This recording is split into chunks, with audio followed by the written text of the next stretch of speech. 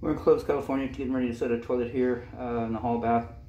First thing we noticed when we uh, took the uh, old toilet off was the left side um, of the closet flange was uh, was damaged.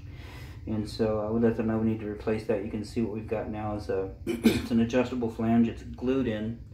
Number one, it's got like a three inch deep flange, uh, solvent welded in place. And then also it's got a a metal adjustable ring which is screwed to the floor. So you're back in good shape. I just want to document that to show you the work that we did and then we'll take another video when we're done. So still here in Clovis, California, we just finished installing a Kohler Cimarron toilet. This was provided by the homeowner. Uh, also, we gave you a new uh, supply line right there. Those are Fluidmasters. Uh, we always do that when we put a new toilet in, just give you a new supply line. If the valve was in bad shape, we'd replace that as well. It's a quarter turn, it shuts off, so no big deal. Uh, so again, the first part of the video, you saw that there was a, an extension flange or flange or repair flange that was installed.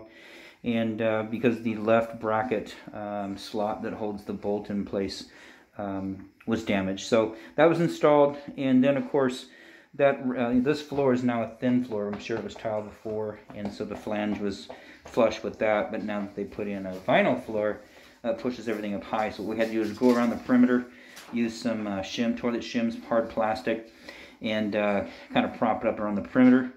And then, of course, we shimmed it nice next to the bolts on each side, uh, here and there, um, you know, because that's where a lot of the pressure is at. Front, of course, uh, popped up pretty high, but um, we flush it a lot of times. It's it's uh, there's no leaking around the perimeter. We got it caulked in almost to the back. We like to leave the back open right there in the event that you do have any leakage down there, you will see it right away, as opposed to caulking it all in and then it just sits down there and um, and causes a, a, mess down there on your floor. Uh, so the toilet is filling correctly, shutting off correctly, flushing correctly. Outside of that, this installation is done. So we're in Clovis, California. We just finished installing a, a, a Weiwei faucet. I want to say Weiwei. Um, we get these off Amazon. They've got over 30,000 five-star reviews, fantastic faucets. And uh, so we recommended it to the homeowner. They purchased it online and we installed it for them. We've probably installed about, I don't know, 20, 30 of these for homeowners. Everybody loves them. We had one installed at our house. That's when we our first experience with this faucet. Fantastic flow and about the third the cost of uh, the big manufacturers like Moen, and Delta, Pfister. Uh, underneath, uh, all we were supposed to do down here is just go ahead and um, tie everything back in.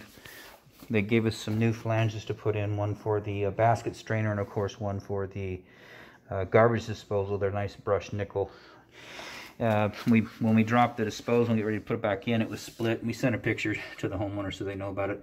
Right at the very top, it was split and rusted out. Probably wouldn't have caused too much damage right away, but eventually that water is going to make its way down to the cabinet. Then you're going to have a problem down here. Um, so we told them we'd replace it for them, and we did. So brand new disposal, one-third horsepower. Um, so that's good. Back here, these... Uh, this uh, telescoping kit that goes from the disposal over to the P-trap uh, was damaged. They used metal nuts and they got it cross-threaded on some of the adapters. So we just pulled all that out. We, we used the original P-trap because that's in good shape. But this whole kit here, the T and that extension piece and the plastic nuts, that's all brand new. Uh, so no big deal. Just want to make sure it's not leaking down there. And then a little tiny piece in between right there. That's ours. And then, of course, a new um, brass nut and then a brand new gasket up in here. And so we've run lots of water down here as well no leaking. And um, we did also uh, replace the cold shutoff valve. So that guy over there that's a BrassCraft quarter turn shutoff valve. The other one was a multi-turn it wouldn't shut off all the way so the water was still leaking and we told the homeowner and they said yep go ahead and replace it. So brand new uh, shutoff valve there. And then of course disposal um, telescoping kit and then uh, faucet. Uh, everything looks good. Outside of that, this installation is done.